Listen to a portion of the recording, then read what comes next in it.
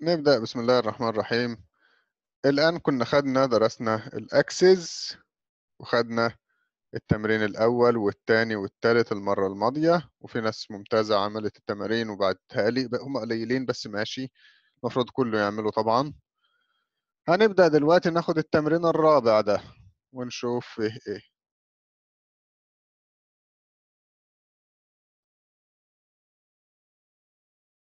Microsoft Office 2013 Access 2013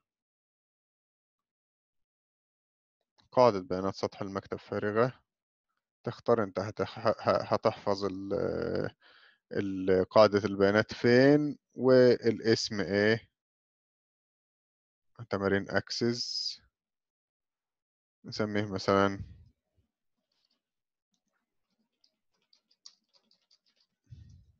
التمرين الرابع إنشاء الجدول اللي بيفتحه لي ده مش عايزه سكره ضغط يمين إغلاق وقول له إنشاء تصميم الجدول زي ما إحنا عرفنا. تعالوا نشوف أسماء الحقول هنا. اسم العميل العنوان الهاتف تاريخ الطلبية إجمالي الطلبية نكتبهم هنا تحت بعض. اسم العميل. العنوان الهاتف تاريخ.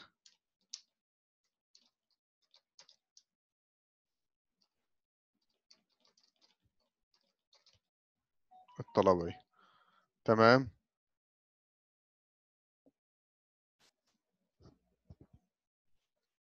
طبعا اسم العامل نص العنوان نص الهاتف رقم تاريخ الطلبية تاريخ وإجمالي الطلبية عملة.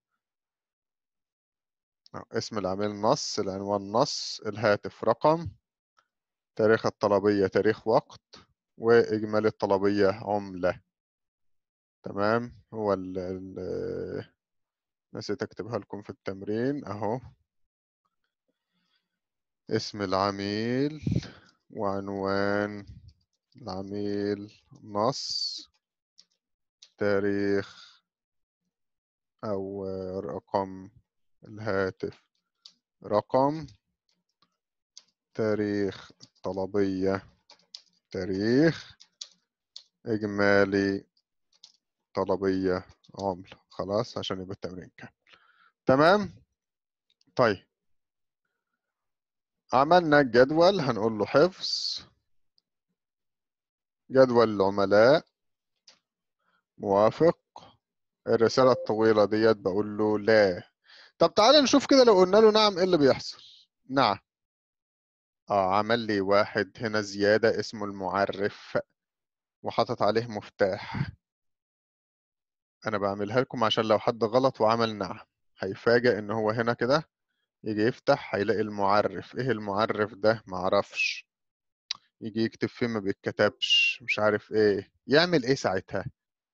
لو عايز تعدل في الحقول بتاعة الجدول بصفة عامة أو حتى بتاعة الاستعلام بعد ما عملته تعمل إيه؟ ضغطة يمين عليه من هنا وتقول له عرض التصميم عرض التصميم. المعرف ده أنت عايز تشيله. لازم تشيل المفتاح الأول. اضغط على المفتاح كده أهو. واضغط على مفتاح أساسي ده عشان تشيل المفتاح من عليه. خلاص؟ يبقى هضغط على المفتاح اللي كان هنا واضغط على مفتاح أساسي ده عشان أشيل المفتاح من عليه. طيب وبعدين ضغطة يمين تاني هنا كده هنا. على اليمين خالص كده حذف صفوف حذف صفوف. وبعدين حفظ وبعدين إغلاق. يبقى عشان أعدل في أي حاجة ضغطة يمين هنا عرض التصميم. عايز أزود حقل؟ أزود. طيب في حاجة برضو بالمناسبة أقولها لكم في ناس كتير بتقع فيها. يغلط ويختار أي حاجة هنا كده وهو في السرعة كده تمام؟ ويجي يحفظ يقول له في اسم حقل مفقود. طب شيله يا عم شيله. مفيش ما بيتشالش. أعمل إيه؟ اختار أي حاجة. واكتب أي حاجة هنا أهو جنبه. وبعدين احذف الحقل كله. لازم تكتب جنبه حاجة الأول وبعدين احذف الحقل ضغطة يمين حذف صفوف. خلاص كده؟ خلاص أوكي. حفظ اغلق. طيب فتحنا الجدول جالي من اليمين من اليسار لليمين جدول خصائص الجدول من اليمين لليسار موافق سكره افتحه مرة تانية. تمام. وتعالى شوف الايه البيانات بتاعتي. الشركة العربية للطرق الشركة العربية للطرق الشركة العربية للطرق.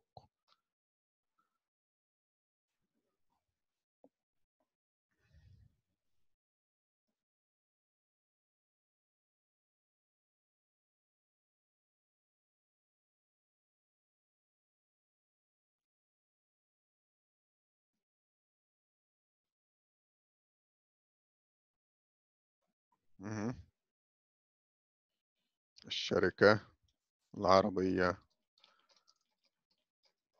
للطرق مش للطريق للطرق.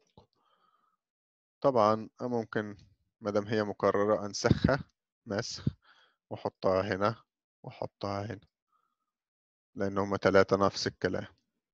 مية تلاتة وعشرين طريق العليا والهاتف بتاعها أربعة خمسة تلاتة خمسة ستة تمانية سبعة برضو انسخه. لأن هو نفس الهاتف بتاع نفس الشركة. حطه هنا حطه هنا. والعنوان نفس الكلام.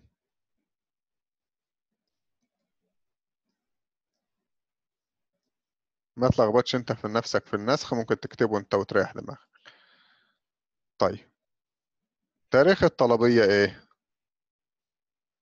خمسة واحد ألف ربعمية وتسعتاشر. واللي تحته تلاتة اتنين تسعتاشر. واللي تحته خمسة أربعة ألف ربعمية وتمنتاشر. إجمالي الطلبية زي ما قلنا بنضغط ضغطتين على الأصفار. واحد خمستين ستة خمسة أربعة. ستة خمستين ستة خمسة أربعة. تسعة خمسة ستة خمسة أربعة. آه هم مظبطين الإجماليات بتاع الطلبات بتاعتهم عشان تبقى آخرها ستة خمسة أربعة. طيب. نيجي هنا اللي بعده إيه؟ المتحدة للتوزيع.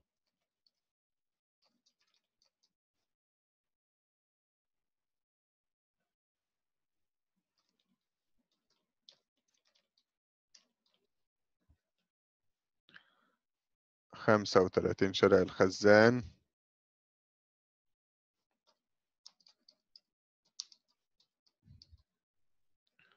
والهاتف. آه آسف.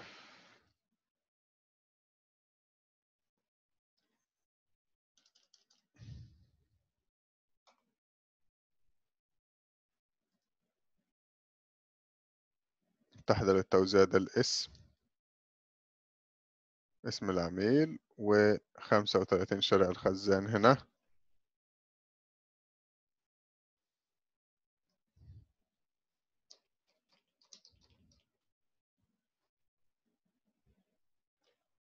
والهاتف اكتبوا هنا. أربعة خمسة سبعة تمانية تسعة ستة تلاتة. تمام. وتاريخ الطلبية سبعة وعشرين واحد ألف ربعمية وتمنتاشر. وإجمالي الطلبية تلاتة اتنين اتنين خمسة أربعة اتنين.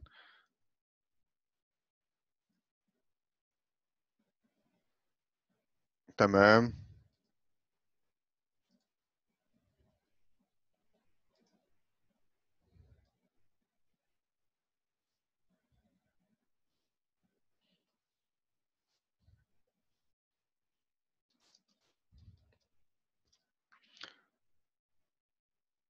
انسخ الاسم حطه تحتها وانسخ العنوان حطه تحتها لأن نفس الشركة عاملة طلبية تانية. بس التاريخ مختلف التاريخ هيبقى كام؟ سبعة وعشرين واحد ألف ربعمية وتمنتاشر. لا ده كان ستة تمانية ألف ربعمية وتمنتاشر. ستة. تمانية ألف ربعمية وتمنتاشر وده اللي سبعة وعشرين واحد ألف ربعمية وتمنتاشر. طب ده إجمالي الطلبية. تلاتة اتنين خمسة أربعة اتنين. وده اللي تلاتة اتنين اتنين خمسة أربعة اتنين. تمام؟ الخليج المحدودة.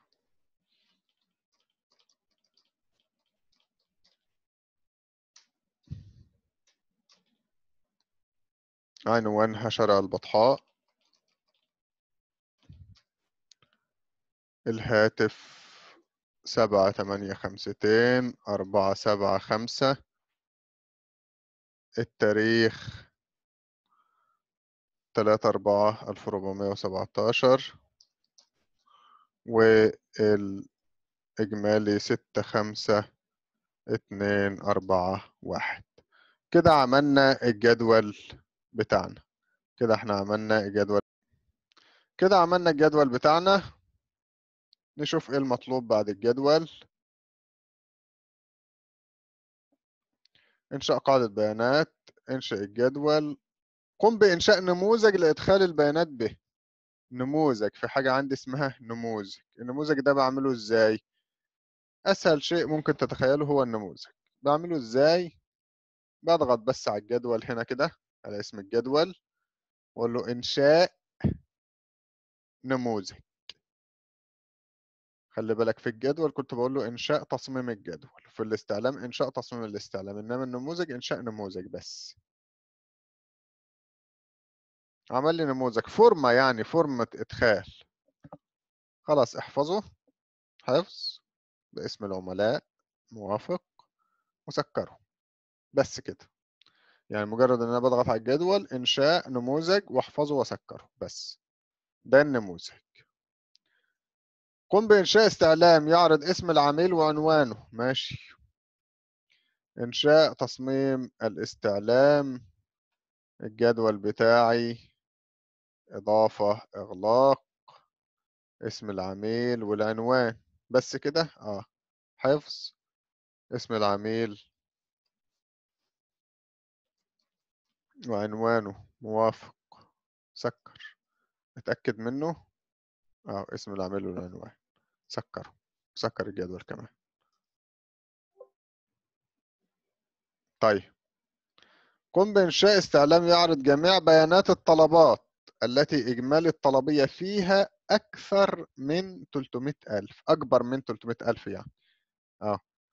إنشاء تصميم الاستعلام العملاء إضافة إغلاق أو ممكن ضغطتين عليها تجيك برضو بدل إضافة ضغطتين عليه يجيك هنا ونسكره من هنا.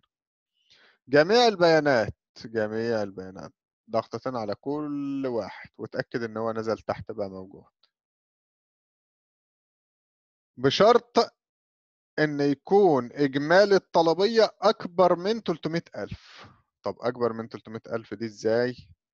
هو الشرط على إيه؟ على اسم العميل ولا العنوان ولا الهاتف ولا تاريخ الطلبية ولا إجمالي الطلبية؟ إجمالي الطلبية أكبر من 300 ألف بتخلي الكتاب إنجليزي أكبر من اللي هي شيفت مع حرف الزاي اللي هي شبه الراء بس عليها نقطة أكبر من شيفت مع الزاي أقل من شيفت مع الواو أكبر من 300 ألف اكتب 300 ألف 300 ألف تلات أصفار يعني 300 لوحدها هي بصفرين وبعدين الألف بتلات أصفار.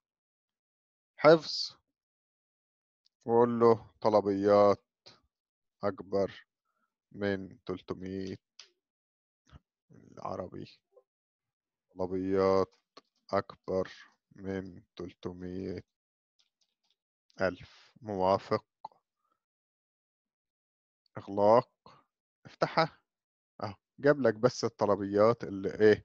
اللي إجمالي الطلبية فيها أكبر من 300 ألف. ده كله إحنا واخدينه قبل كده وعارفينه. قم بإنشاء تقرير بقى. التقرير إيه هو التقرير؟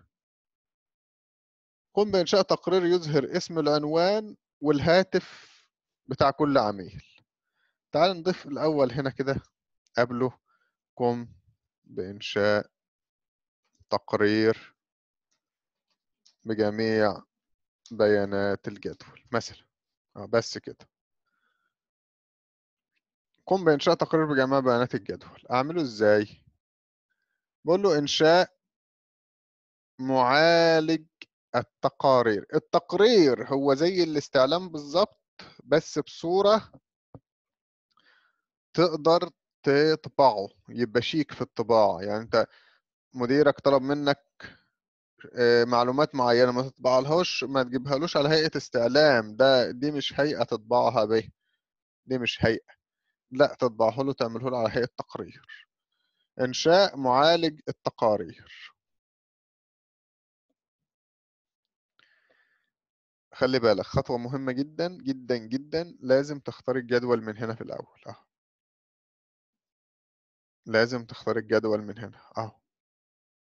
تمام؟ وتشوف إيه اللي أنت عايزه من الجدول يظهر في التقرير كل البيانات. قال لك بجميع بيانات الجدول حط كله. أو ممكن تضغط على ده تجيب لك كله. شوف اللي هنا هو اللي هيظهر في التقرير أهو. ممكن ضغطتين ضغطتين ضغطتين أو تضغط على دي تجيب لك كله تنقله من هنا لهنا. دي اللي هيظهر في التقرير. ما دام ما قالكش مرقم ومرتب ولا ولا ولا خلاص انت حطيت البيانات اللي انت عايزها قول له انهاء على طول. تمام؟ انهاء. ما عليك من ال- الرموز دي. انهاء. يبقى انت كده عملت التقرير. يبقى عشان اعمل تقرير بكل بيانات الجدول. أنا مثلا عايز اعمل تقرير باسم العميل وعنوانه وإجمالي الطلبية. انشاء. معالج التقارير. اختار الجدول. اسم العميل عنوانه إجمالي الطلبيه انهاء على طول. خلاص. ده تقرير. طيب أمال لو قال لي مرتب حسب بقى وعايز يرتبه وينظمه و و و أعمل إيه؟ زي كده. قم بإنشاء تقرير يظهر اسم العميل والعنوان والهاتف. على أن تكون البيانات مرتبة حسب اسم العميل ومجمعة حسب العنوان. تعال الأول واحدة واحدة. إنشاء معالج التقارير الجدول. أوعى تنسى تختار الجدول.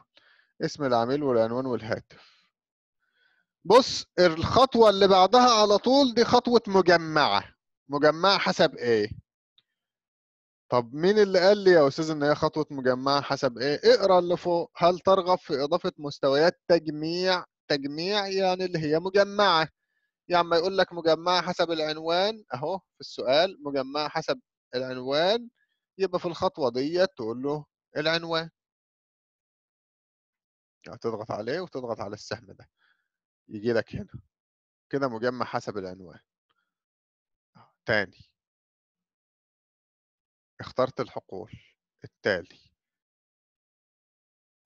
هو عايزه مجمعة حسب العنوان. أهو. مجمعة حسب العنوان. وأنت اقرأ هتلاقي بيقول لك هل ترغب في إضافة مستويات تجميع اختار العنوان؟ ضغطتين ممكن ضغطتين أو تضغط عليه وتضغط هنا طيب التالي اقرأ كده ما هو ترتيب. تشوف هل هو عايزه مرتب حسب شيء؟ آه مرتبة حسب اسم العميل. يبقى في الخطوة بتاعت الترتيب أختار إيه؟ اسم العميل. التالي هنا لو قال لك اعمله افقي أو عمودي. الصفحة تنطبع افقي ولا عمودي. التالي لو عايز تحط له اسم وبعدين انهاء. اهو. اصبح بالشكل ده. العنوان مرتب مجمعة حسب العنوان يعني إيه يا شباب؟ يعني يجيب لك ال- العنوان بتاعهم متشابه يكتب العنوان كده والبيانات تحت بعضها.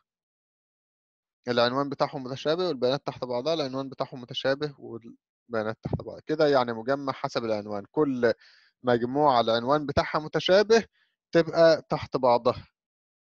كده. تمام؟ طيب ناخد التمرين اللي بعده. ملف جديد. قاعدة بيانات سطح المكتب فارغة. حطه في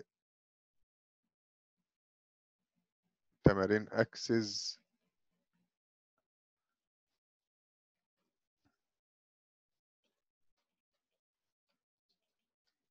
التمرين الخامس إنشاء. ضغط يمين إغلاق إنشاء تصميم الجدول. قبل ما أعرف أي حاجة بعمل كده. اسم الموظف المدينة بدء التدريب نوع التدريب النتيجة. اكتبهم تحت بعض. اسم موظف المدينة. بدء التدريب. نوع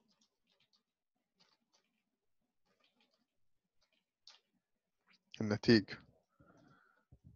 أنواعهم إيه؟ اسم الموظف نص. المدينة نص. بدء التدريب تاريخ. تاريخ وقت. نوع التدريب نص. والنتيجة نعم لا. اسم الموظف نص. سيبه نص مختصر. المدينة نص. بدء التدريب تاريخ وقت. تاريخ وقت. نوع التدريب نص النتيجة نعم لا حفظ باسم الموظف. الرسالة الطويلة بقول له لا. إغلاق. افتحه. لو لقيته مختفي كده اضغط على كلمة جداول كده يظهر. سوي من اليمين لليسار موافق. سكره افتحه مرة تانية. ابدأ املى البيانات. أحمد سعيد طارق مسعود. تعال نصغرها كده أهو.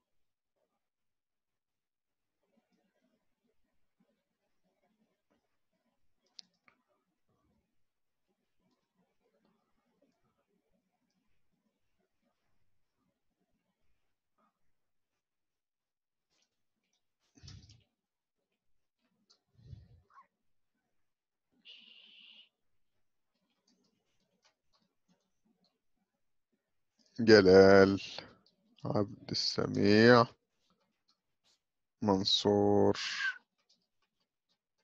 رئيس مسعود الزهراني.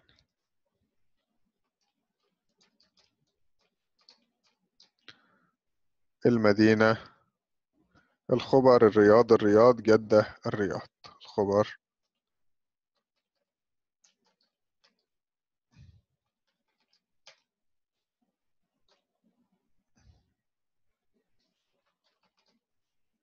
بدء التدريب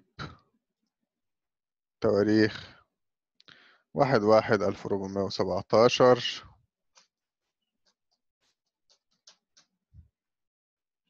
واحد تلاتة ألف ربعمية وسبعتاشر. خمسة أربعة ألف ربعمية وتمنتاشر. واحد ستة ألف ربعمية وتمنتاشر. تمانية سبعة ألف ربعمية وتمنتاشر. نوع التدريب مهارات قيادية خدمة عملاء.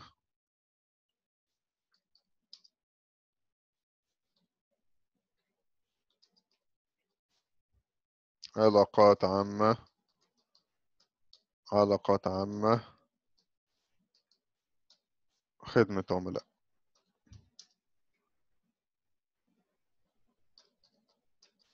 العملاء وفوق برضو العملاء عشان إيه؟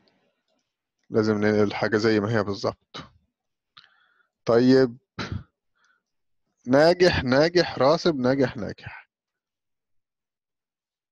إحنا عاملينها نعم لا ناجح هتحط صح راسب مش هتحط. ناجح ناجح راسب دي سيبها وبعدين ناجح ناجح. حفظ. اخلاق.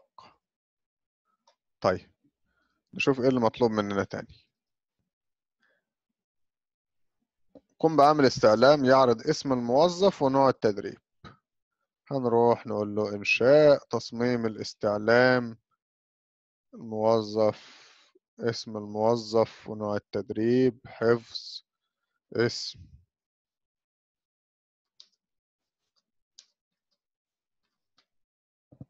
حفظ إغلاق. افتحه تأكد منه. مظبوط. جايب لك اسماء الموظفين ونوع التدريب. طيب قم بعمل استعلام يعرض الموظفين الناجحين. يعني هقول له اسم الموظف والنتيجة.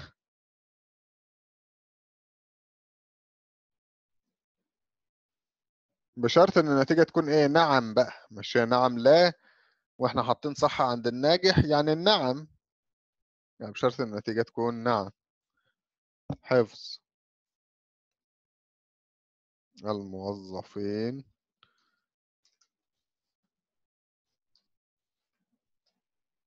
ناجحين طيب قم بعمل استعلام يعرض الموظفين من مدينة الرياض يعني اسم الموظف والمدينة بشرط إن المدينة تكون الرياض. إنشاء تصميم الاستعلام اسم الموظف والمدينة بشرط إن المدينة هنا تكون الرياض. حفظ. موظفي تحط له اسم كده يدل على هو فيه إيه هو بيعمل إيه. آه. ادي موظف الرياض جايب الرياض بس والموظفين الناجحين جايب الناجحين بس. قم بعمل استعلام يعرض الموظفين الناجحين من مدينة الرياض. آه ده يعني فيه شرطين مش شرط واحد. طيب ماشي إنشاء تصميم الاستعلام عادي أهو الموظف. اسم الموظف والمدينة والنتيجة. عندي شرطين شرط إن المدينة تكون الرياض وشرط إن النتيجة تكون ناجح يبقى المدينة تحتها اكتب الرياض. والنتيجة تحتها اكتب. نعم. عادي شرطين عادي مفيش مشكلة. كل شرط اكتبه تحت الإيه؟ الحقل بتاعه. تمام؟ حفظ أهو. الناجحين من الرياض. موافق. تعالى سكر كده وإيه وافتحه. آه جاب لك الناجحين من الرياض بس. طيب. قم بعمل تقرير لبيانات الجدول. تقرير لبيانات الجدول يعني هتحط فيه كل شيء. إنشاء معالج التقارير لازم تختار الجدول. كل شيء إنهاء. بس. حفظ. إغلاق. قم بعمل تقرير يعرض بيانات الدورات يعني كل البيانات بحيث يكون مجمع حسب اسم المدينة ومرتب حسب تاريخ البدء. تعالى بقى نقول له إيه إنشاء معالج التقارير لازم تختار الجدول. كل البيانات. مجمع حسب إيه؟ حسب اسم المدينة. ضغطتين على المدينة هنا. مرتب حسب إيه؟ حسب البدء بدء التدريب. ما قالش أفقي ولا عمودي تمام؟ تقدر تحط له عنوان لو عايز تحط له عنوان. انهاء. مجمع حسب المدينة يعني اللي من الخبر هيبقوا مع بعض اللي من الرياضة والتلاتة مع بعض تحت بعضهم واللي من جدة مع بعض. ده معناها معنى كلمة مجمع حسب المدينة. خلاص حفظ اغلق. تمام؟ ده بالنسبة للإيه؟ للتمرينين بتوعنا اليوم. طيب افرض قال لي أنا عايز استعلام في اسم الموظف والمدينة بشرط إن الم... اسم الموظف والمدينة و... ونوع التدريب. بشرط إن المدينة تبقى الخبر. ماشي يبقى اسم الموظف والمدينة ونوع التدريب بشرط إن المدينة الخبر. أهو إنشاء. تصميم الاستعلام اسم الموظف والمدينة ونوع التدريب بشرط إن المدينة الخبر. بيقول لك على أن يظهر في الاستعلام اسم الموظف ونوع التدريب فقط. أهو تعال نكتبه. أهو. قم بعمل. يعرض اسم الموظف والمدينة أو اسم الموظف ونوع التدريب بشرط أن يكون المدينة الخبر على أن يظهر في الاستعلام اسم الموظف ونوع تدريب فقط. يعني انت عايز تستخدم المدينة عشان تعمل الشرط وفي نفس الوقت مش عايزها تظهر في الاستعلام عادي اسم الموظف والمدينة ونوع التدريب وكتبت تحتها الخبر وشيل علامة الصح دي عشان ما تظهرش في الاستعلام خلاص حفظ.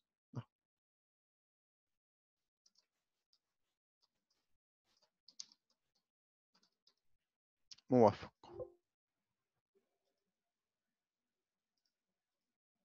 آه. فيه استعلام تاني بالاسم ده. خلاص في استعلام تاني بالاسم ده. تمام؟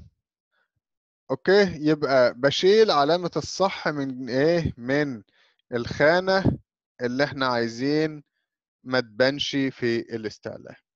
تمام؟